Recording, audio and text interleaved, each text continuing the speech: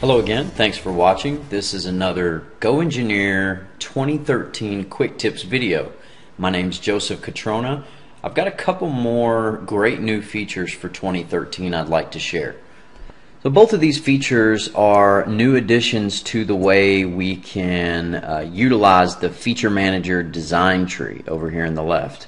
Uh, the first is actually a favorites item uh, or favorites folder, if you will we've all had some feature in design, whether it's uh, some hole for a sensor that becomes uh, uh, a frequently modified feature, or maybe even a feature of uh, controversy between colleagues. So we're commenting on it, we're discussing it, we're back and forth.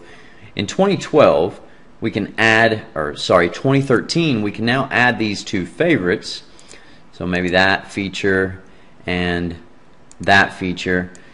So without having to navigate down through the tree, find that feature before modifying it or modifying the comments about it, examining the sketch of it, um, we can see those features itemized or grouped up in the top. Very easy to access. The other one uh, is similarly to do with this feature manager design tree and it is the ability now to show a flat tree view. So a strict historical view of everything. No sketches absorbed, uh, no sketches after the feature that was created based on that sketch. It's just going to give you an exact uh, historical representation of all the features. So if you want to step down through and see exactly what happened after that fillet was the sketch. And then the plane and then another sketch and so forth.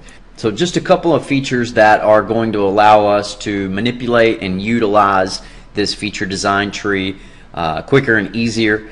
Let me know what you think about this. P please feel free to leave a comment. Um, is this something you'll use? Is it is it something you like? Uh, and also, please feel free to leave us comments on any videos you'd like to see in the future. Again, my name is Joe with Go Engineer. Thanks for watching.